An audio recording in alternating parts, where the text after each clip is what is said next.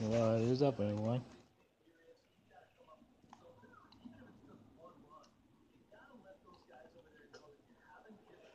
What is up, everyone? Giant Saint 3 here, not even two. For those that here, subscribe. Everybody else, welcome back. Oh, man. Some sad news to report, everyone. Not your ordinary news. In DR last night, there was a car crash concerning Yordano Ventura and Andy Marte both baseball player, former baseball players, have passed away. Now, Andy Marte, he was a minor leaguer, career minor leaguer.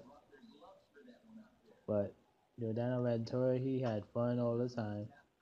Loved the game of baseball, and he was a fun guy to be around. Another young pitcher lost in tragedy.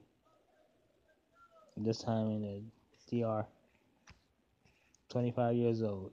He had a whole career ahead of him. Man, we miss you, man. Royals fans are missing. I know that. And tragic death for the Royals family. My condolences for the Ventura family, Yordano Ventura's family, and Andy Marte's family.